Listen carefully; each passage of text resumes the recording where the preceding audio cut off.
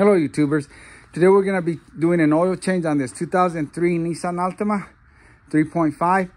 Uh, it's a car that I've had for a long time and I donated it to uh, this uh, family. And uh, I still come around and help them with it. But uh, I'm going to have my grandson uh, do the oil change. And he's been away for a little bit because he's been working and he had school. But he finally found some time to come help me do this. So I'm not going to really coach him on anything. I'm going to let him do it by himself and I'll help him when he does something that, you know, it's incorrect. I just want to make this video to show people that not everybody knows, you know, how to do an oil change. So, you know, for a beginner, this will be a great video.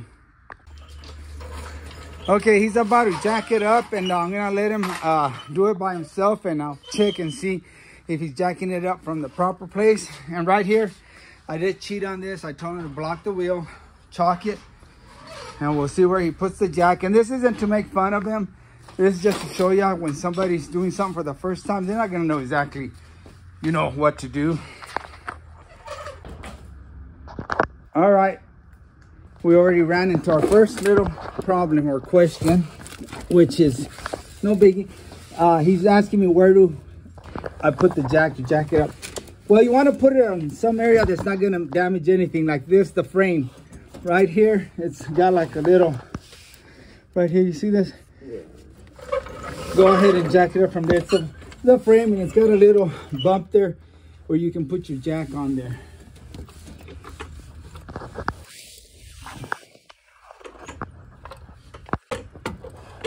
Okay he's got it on that spot. Now he's gonna go ahead and proceed to jack it up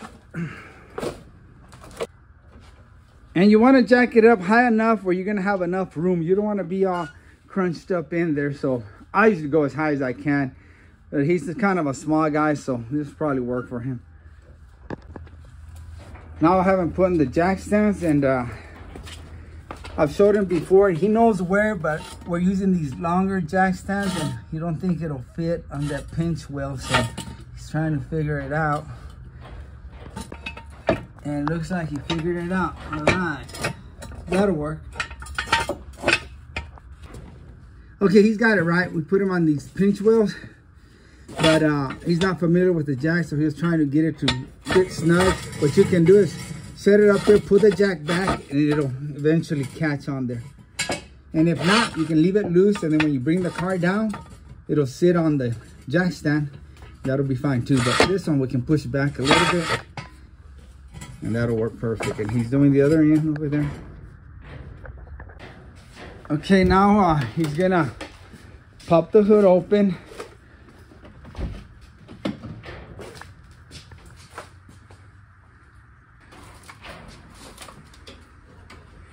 All right opening the hood and i hate these hoods that have that rod. Always gets in the way but we've got it rigged up there where we can we know where it's at and then here's another. Okay. Okay, he's trying to figure out where it goes. And there's a little slot there. And like I said, this one's broken. Most cars, you'll have it where uh, it's, it's already in that little slot. And then up here, you'll have a slot where you can put it. Okay, this had two slots, but he put it in the wrong one. And there you go. Yeah now that we got the hood open, he's gonna open the, uh, where you put the oil in, oil cap. And sometimes those are tight. You might wanna use pliers if you can't get it. I have trouble with this one myself. I've always hit myself here when I try to open this one. There you go. Is that easier? Yeah.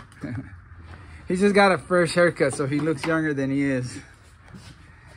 Okay, now we're gonna go down uh, on the bottom and we're gonna take off the, uh, we're gonna start with the uh, oil filter. Okay, uh, he forgot to bring the jack down a little bit so the car will rest on the jack stands. Go ahead and do that. And we just wanna bring it down a little bit where the car will rest on the jack stands. Okay, now pump it up a few times. That'll work. We want to have the jack supporting it and jack stands. In case the jack fails, the stands will protect you. Or if the stands fail, the jack will help you out. All right, we're gonna proceed to taking off that uh, filter. And there's all kinds of tools to take off your uh, filter. I've got all kinds here, all kinds of filter removers, these cups. I'm gonna see which one's gonna work better for him. I've got this kit here. He's mostly for Toyotas. But anyway, we're gonna go with this one. I've had that one for years. I bought it from a Craftsman uh, series. And go ahead, we're gonna try to take it off. And it is kind of tricky, this one. You just gotta hold the, there you go.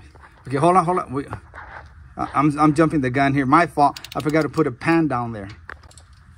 All right, guys, that was my bad. I forgot to put that pan down there. And we went ahead and changed to rubber gloves because I told them we're to lose a little oil. So that way we won't get those rag, uh, what do you call it? Gloves, oh, full of oil. Yeah. There we go. yeah just hold that there you go and there you go he's not used to that tool and it is kind of tricky when I do it it's you just got to hold it tight and if you don't it'll spin but it's going there you go now you can finish it off with your hand it's loose enough And here's where we'll spill a little bit of oil. I see the oil down there. And I make a mess sometimes when I do an oil change. It goes everywhere. Obviously this car has been leaking. Uh, it's leaking from the power steering, so I'm gonna check that out here in a little bit. I've always had trouble with this car. Okay, he's just gonna let it drain there in the pan. There you go, that's it all right guys we've got the oil filter here and whenever you change the oil you want to make sure this gasket came off with the filter sometimes it'll stay on there and then when you go putting your new one you're gonna have a leak because it's not gonna seal properly and another thing when you before you put the new one you want to take some old oil or some new uh, and just kind of lubricate that uh, gasket and then you put it on the vehicle. Make sure you clean around here. Make sure there's no debris, something, you know, that's gonna not allow it to seal properly. All right, and uh, I told him to go ahead and clean around that area. Go ahead. Just to make sure there's nothing there that's gonna not allow it to seal properly. Okay, I'll get the new filter, which is right there. And he's gonna dip his finger in here and lubricate that uh, gasket. Okay, get this out of the way so I don't step on it.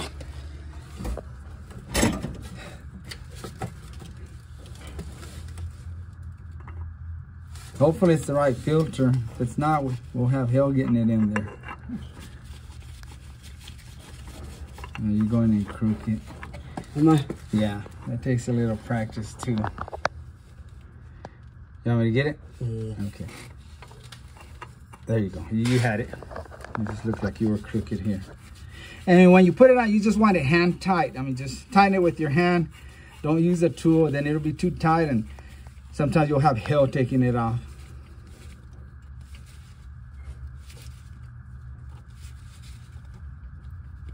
Wow, this guy's got some strength here.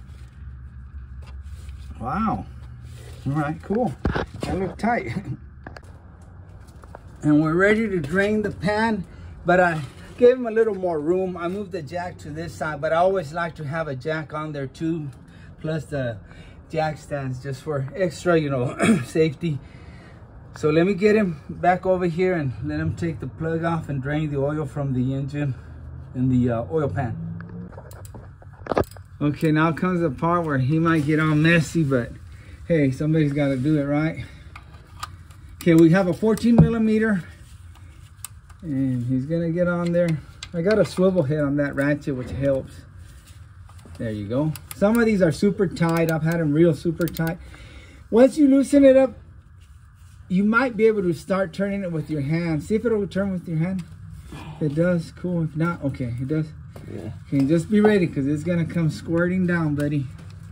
You're far away, it won't get your face, but I hope it won't. it won't. And when you feel it come off completely, just let that bolt drop. Don't try to hold it or you're really gonna make a mess. There you go.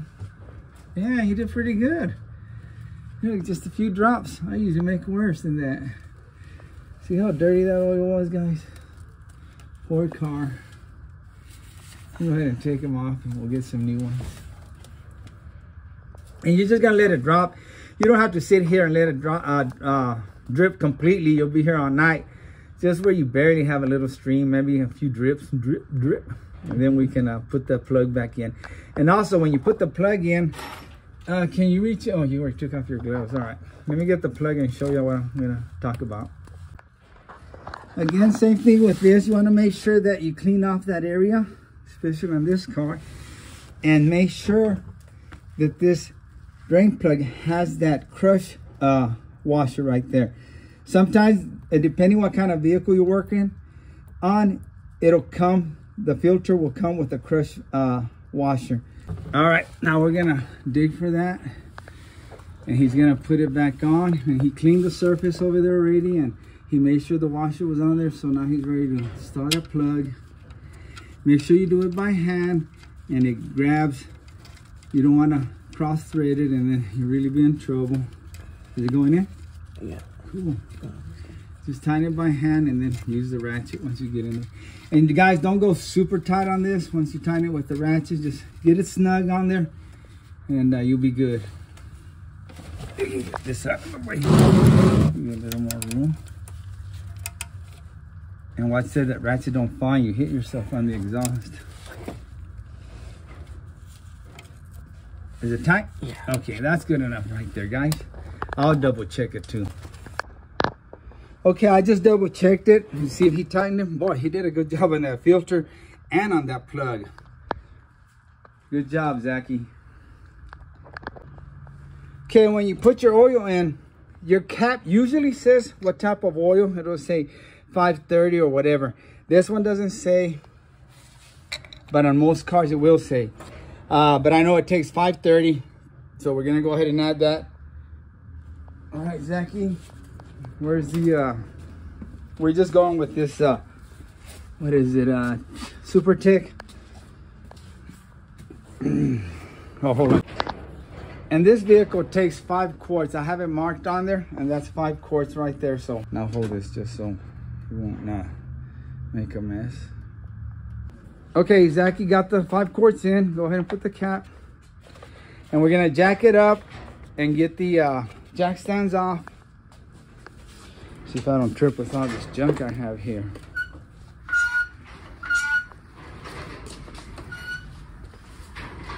Okay. Will they come off? Is that high enough? Yeah. Oh, I need to go higher.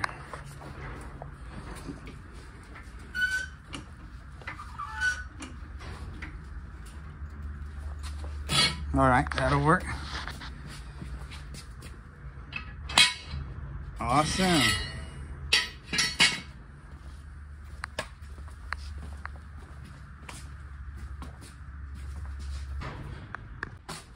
Okay, he's got the jack stands off. Now he's gonna bring it down. And it takes kind of getting used to that uh, handle. Sometimes you twist it too fast and the car will drop. Good job. So far, so good. All he has to do is pull his pants up. Now that we got the car level, he's gonna turn it on for a few seconds. Go ahead. And uh, let the oil get into the oil filter and then we'll get a, a reading of the level.